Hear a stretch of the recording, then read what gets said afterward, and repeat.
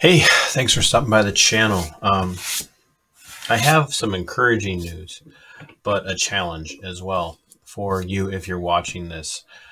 Um, as you know, um, I became aware on August 2nd of a situation in Sherburne County, Minnesota, at a Sherburne County board meeting, wherein um, one lady named Terry mentioned the name of a school board, or excuse me, a county board member, mentioned that person's name and was immediately uh, called out of order and subsequently removed from the room.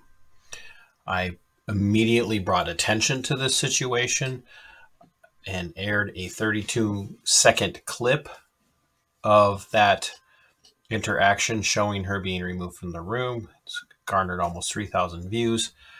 And we have subsequently seen people reach out to the Sherburne County Board, to the Sherburne County Sheriff's Office, and request uh, immediate attention to the situation. And we have affected change. And when I say we, it's not me, it is the people of Sherburne County and all of the viewers out there who have reached out and uh, subsequently demanded, and rightly so, that apologies be made. So we have affected change in Sherburne County because today, and I'm going to show it, um, the county administrator, Bruce Messelt, uh, apologized to Terry for that interaction. And so I am going to I'm going to play his apology now and the follow-on comments from the board. Madam Chair, members of the commission, uh, if the board will indulge me for a second, I do want to start with an announcement. Uh, and I think Terry, I saw you, there you are. Thank you. Uh, I've spoken with uh, Ms. Dickinson and I wanted uh, to express to her publicly today what I expressed to her last week, which is I want to offer an apology for how uh, Terry was treated at the last county board meeting on August 2nd. Um, I reviewed the meeting, uh, as I think several of us have, and I believe I was wrong in calling Terry out of order uh, and also asking that she be removed from the meeting. Upon reflection, it is my opinion that uh, Ms. Dickinson's comments or and actions uh, did not rise to the level of disruptive behavior that would have warranted uh, the response that she received. I missed the bar on that as I was kind of serving as a parliamentarian, and I am sorry for that. I plan on uh, recommending that the county board handle public comment differently from here on, that we focus on the time limit and on affording equal opportunity for everyone to speak, which is set by the county board's open uh, forum policy. Uh, I will also be asking for the county board's permission to begin a staff review of our current policies and procedures and also to seek other educational and training opportunities that will help us better reflect the spirit of being welcoming and of valuing public uh, comment, even when we, we may not agree with what is said. Uh, I would also like to apologize to the County Board of Commissioners, uh, as well as to our public safety personnel uh, for placing all of you in such an awkward position at the last board meeting due to the decisions and the actions that I took. Uh, as a public servant, uh, beholden to the citizens and the elected officials of Sherburne County, I should have done better. I want to thank you for allowing me to serve and also for helping to hold me accountable for my actions. Madam Chair, Yes. I'd just like to follow up briefly on Bruce's comments. Uh, I've been, I've been on this board for 20 years and things have changed and we don't always get it right. And I think that uh, Bruce has apologized to the board, but I, I, I think the board owes the public an apology. We got it wrong last meeting. We absolutely got it wrong. We have to accept responsibility for that. And I think it, it, it needs to be noted. You need to know that. I, I believe that. I, I'm sure my counterparts believe it as well. So, thank you. Yes, and, and to add to that, Commissioner Schmiesing's comments to the general public, when you guys comment or come in here and, and spend your time with us, just realize we'll make mistakes. And, and kind of the, the kicker of being up here and in this position is, is realizing when you get stuff a little bit wrong and trying to find a way to fix it. So just uh, try your best to give us a little time to learn as things change and shift, and uh, we'll do our best. Yes, and to add to the comments too, we need to hear from everybody. We need to hear the voices of our people and who we represent, so. Did you wanna say anything? I concur with all the comments from the board. I was, ga- I gathered uh, Friday night with about 10 uh, other commissioners from across the state, and we discussed in robust, earnest fashion, public comment parts of board meetings, and a couple of them don't have it, so I found that interesting. So it was interesting to talk to them, and I appreciate that we in Sherburne County do offer that option for our citizens, and uh, hope to review our policy so we make sure that we are addressing um, and handling it appropriately. But I found the conversation Friday night very interesting. All across the state, it's done differently in every county. And, um, but we do appreciate public comment here and I agree with the apologies um, from our board and our administrator.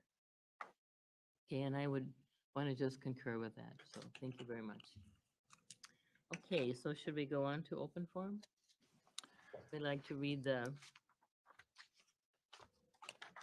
criteria first. Do we do that again? The purpose of the open forum section of the county board meeting is to allow public input and/or information to be presented to the board that does not require action by the board. It is requested that speakers refrain from personal attacks of any kind against another person, commissioner, or employee. It is requested that speakers refrain from campaign-type presentations. The time limit is three minutes per speaker with a maximum of five speakers per open forum. The time limit may be shortened or extended at the discretion of the board chair. Discussions that require additional time beyond the original 15 minutes will be recessed and continued following the conclusion of the regular board meeting uh, agenda items. It is requested that all input or information be addressed to the County Commi- Board of Commissioners and not to members of the audience. Speaker handouts are public information. The county may make copies of such handouts for the public if needed, and the county board chair will ensure that the open forum policy is followed. I want to address, and, and I want to say this first of all, Bruce, I I commend you for apologizing. I could speculate about how that apology came about. I could speculate about why you're apologizing. I could. I, it, we we could hack this apart.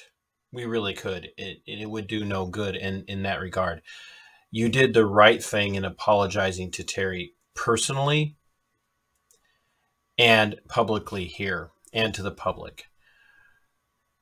I want to uh, I, I want to tell Felix that I appreciate what he said. I, I, I believe Felix that um, Mr. Schmiesing, uh, you owe a very particular apology for your smart aleck comment. Not just this broad apology, but the, the smart aleck comment that you made where you said um, you got your shot or you took your shot or whatever it was. Uh, Mr. Dolan, Tim, once again, I appreciate you backing up all the apologies. I really do. Um,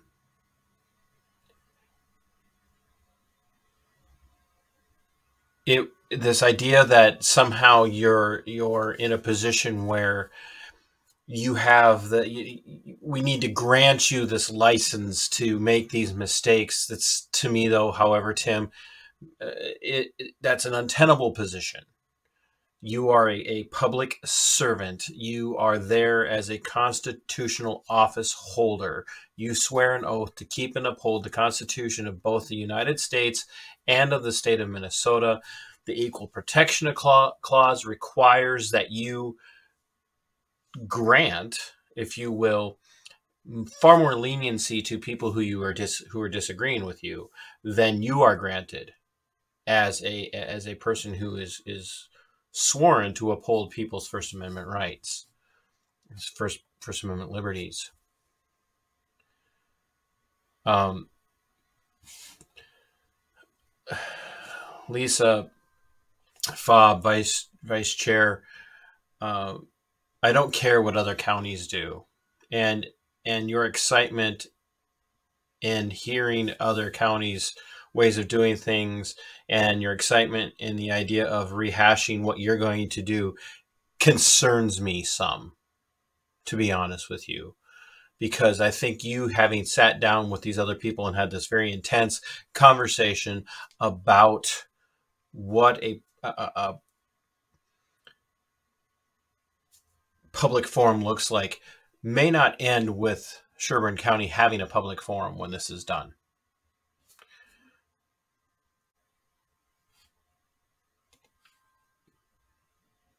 Ms. Danielowski, your comment was insufficient. At the end of Terry being removed, you were laughing. You were laughing, madam. We need to hear the voices of our people. We need to hear from everybody. That is insufficient. You need to apologize publicly. Bruce Messelt falling on his sword to protect and shield the county board is ridiculous.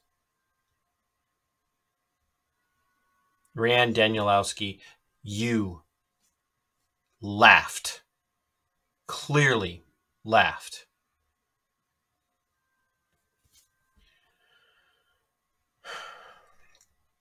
Last and certainly not least, and, and I cannot say beyond any reasonable doubt, and we're going to show here in just a minute. Uh, Barbara Burandt, you were the chair. You had a duty, a duty to intervene and prevent your subservient Bruce Messelt from making the strategic error that he made, from making the constitutional error that he made. You had a duty. And your entire scope of comment was, I concur. Okay, and I would want to just concur with that, so thank you very much. Okay, She just wants to concur with that. Um, you just you just want to concur. Madam, it was either you or Ms. Fobbe who started the ball rolling, who made the complaint that that Terry was in violation. It was on either yours or Lisa's Barbara, it was on you or it was on Lisa to to not say that, to recognize that your your personal investment was too deep and and you interjected and and and and, and one of you spoke up and said she's in violation. Now we don't i don't know for sure who it was because i couldn't see it because the camera was on terry. But it's clearly heard in the background and we're going to play it. It's clearly heard in the background. And all we get is i concur with what was said. No. Barbara like i said to Raeanne you need to very vocally, very publicly, very personally apologize to Terry. You need to publicly apologize to the people who are your masters, Barbara. The people of Sherburne County are your masters. They are your government. You are a public servant. Bruce Messelt did the right thing, and he fell on his sword to shield you, Barbara. And when I say he did the right thing, he did the right thing by apologizing because he was wrong. And I hope that it was a genuine apology. And from the sounds of it, it was. And I do hope that there are steps taken going forward. But Barbara, you are the first person, and Lisa, you might be the second. And Raeanne, definitely. You all need to sit down and study the Constitution and study case law when it comes to um, redress of grievances and dissenting opinions to government decision. We are now going to watch. If people don't believe me, we're going to watch and listen as Terry is silenced. but we're going to listen to where it comes from because it's not Bruce Messelt that starts the ball rolling. Bruce, you may have been the parliamentarian, which, by the way, is just bad form. It should have been the chair. The chair should be managing that meeting. I would appreciate clarification, please. During the recess of the April 19th board meeting, I pressed Commissioner Danielowski to stop dancing around the issue and support a public hearing, to which he rendered an obscure but positive response to a public hearing.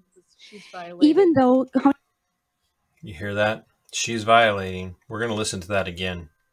During the recess of the April 19th board meeting, I pressed Commissioner Danielowski to stop dancing around the issue and support a public hearing, to which she rendered an obscure but positive response to a public hearing. She's violating. Even though She's violating. You folks hear that? She's violating. Now, I'm de- I, I've debated if we need to continue to play this out, but I think we've all seen the video enough. And if you haven't, you can go and watch the video of Terry being removed numerous times. It, they're there. I'm, I'm not going to hash this to death anymore. Um, and by say hash hash it to death, I don't mean literally dying. But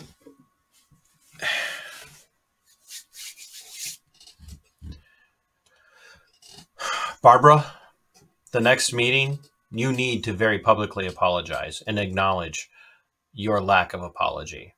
Because your lack of apology and simply saying that I concur was was asinine.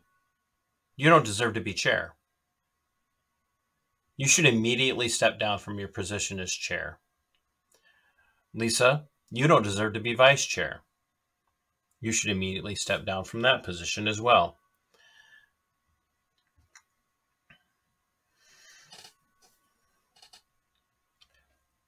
I am disgusted at Barbara in particular. So even if Barbara, you weren't the one saying that she violated, you had a duty to tell the other person, no, stop, stop. You had a duty. You had a duty. You should know this. I don't care how long you've been a county commissioner. You've also been a chair now since January. You need to know these things. You need to read the Constitution, madam. I guarantee you, in a debate on the Constitution, I would rip you to shreds.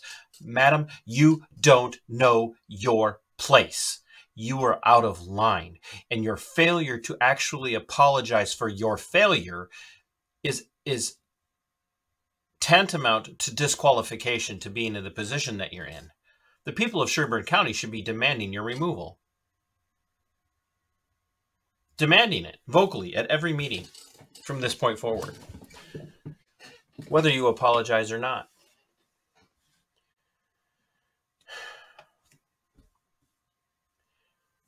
And now, I want to say once again to the chief deputy, Chief Deputy Duran, thank you very much for intervening in that situation on August 2nd and, and ensuring that Terry was allowed back in.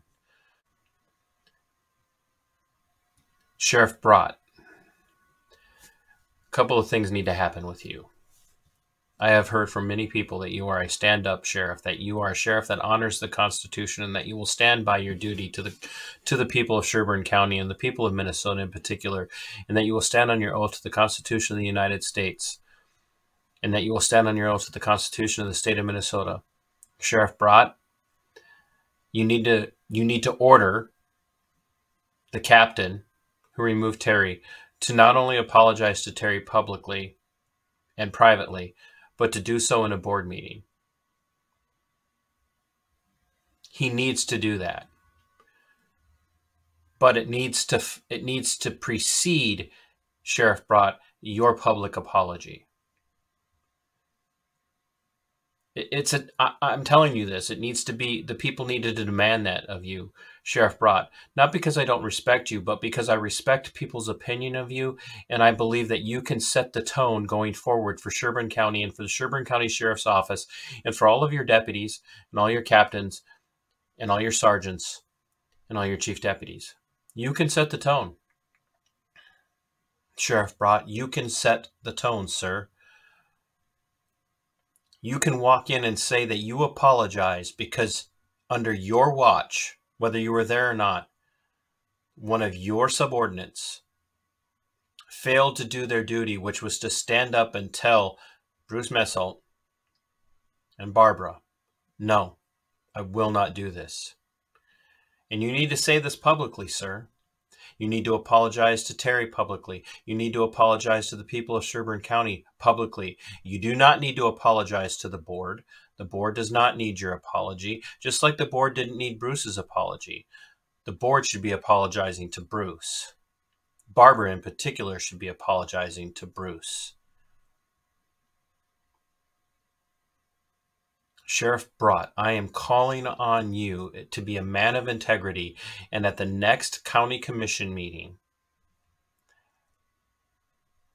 to approach the mic and publicly apologize for failing to instruct your staff on how to honor their oaths to the Constitution of the state of Minnesota and the Constitution of the United States Republic and to the people of Sherburne County set the standard not only for your staff but for the entire state of Minnesota sir. I'm pleading with you to remind the county board that you work for we the people. Remind the county board that your staff will never again under any circumstances short of actual violence taking place will they ever intervene in the people seeking a redress of grievances no matter what kind of language is used.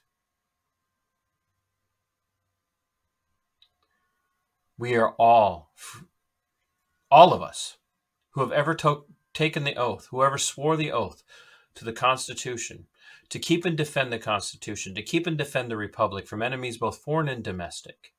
So help me God. Should be free speech, absolutist. There's no hate speech. There is no politically incorrect speech. There's just speech. And words do not hurt.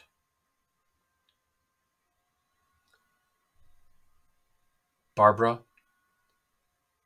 short of a very public apology, your time on the Sherburne County Board should be limited to the next meeting where you should resign. To all of the other board members. Thank you for those of you that actually apologized, and to those that simply said, Well, I concur, or the people need to be heard. You're part of the problem. I cannot say enough positive about you, Chief Deputy Duran.